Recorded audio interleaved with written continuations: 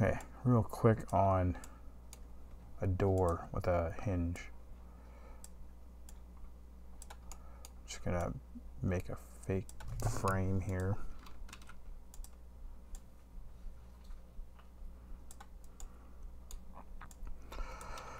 And move that up.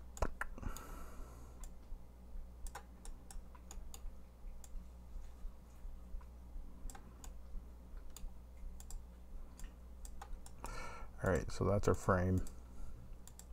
Let's give it a rigid body. Let's make it kinematic. Oop. And our model here, which is our door. Let's give that a rigid body. It can use gravity. And next we need uh, a hinge joint.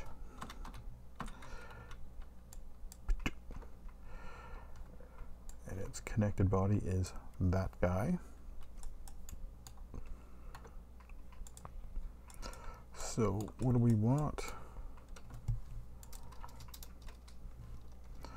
First of all, we want the anchor set in the right spot. Oh, let's go this way. Let's connect them over here on that side. That's probably fine. And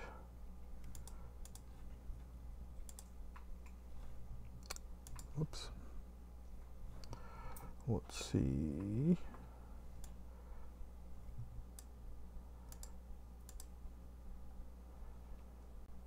Limits.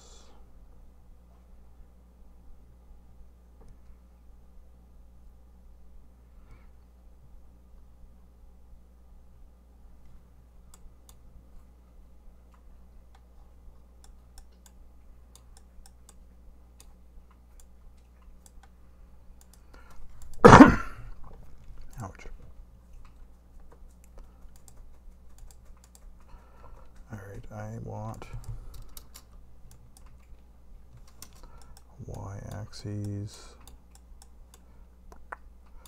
And then let's I should be able to let's use a spring spring give it I don't know 15 or 10 or something. Limits.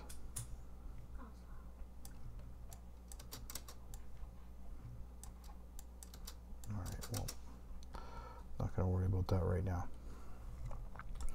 all right so now let's create a little box guy. Give him a rigid body. I'm going to put him as kinematic. He really doesn't matter though. Whoops. Oh, I still messed that up somehow.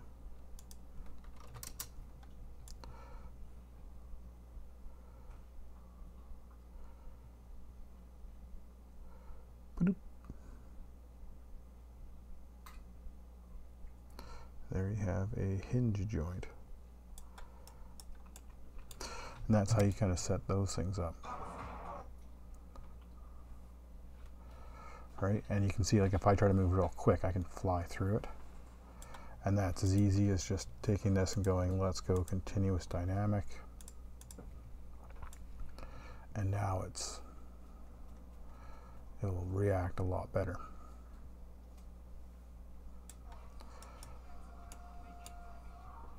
But you have to have like I have a frame here and then I have my actual model and I put my hinge joint on here. We've connected the hinge here as you can see.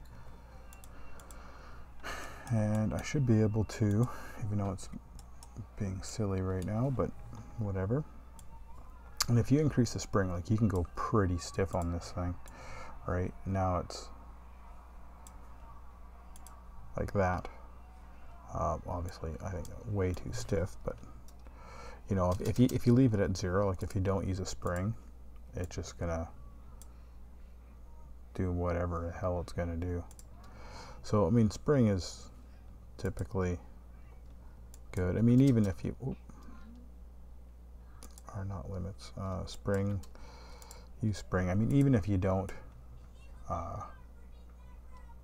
you know, don't need whole lot like it's still going around. So now let's use limits. So right now it's it's to freak out, right? So it's using these limits. So let's, I don't know, go 110, negative 110. Now we should have where it's, it can only go so far.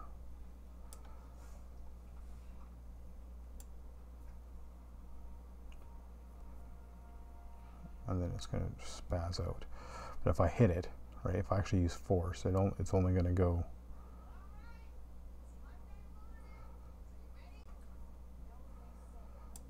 Actually, if I take that spring down, you can probably see that a little better. Right, see how it, it only goes so far? If I hit it this way, it only goes so far. That's because I put those limits on it. But I like the spring personally. So it, do, it doesn't need much, but it'll slowly try to get it back to where it was, right? I mean, one's pretty low. Obviously. You know, 10, even 10 is almost kind of high. Not bad. I think 5 is a pretty good number. Uh, you can put a bit of a damper to it. If you want, you can use motors too. Uh, and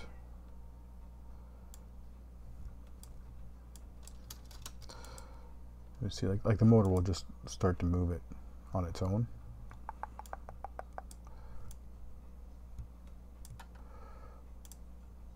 And then it'll it'll push things. It won't push this because it's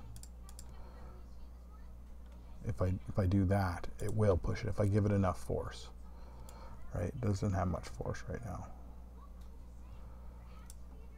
Give it enough force and it'll start pushing that too and there you have a bit of a hinge joint. Let's take that motor off.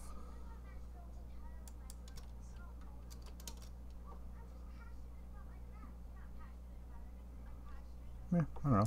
That's probably about it.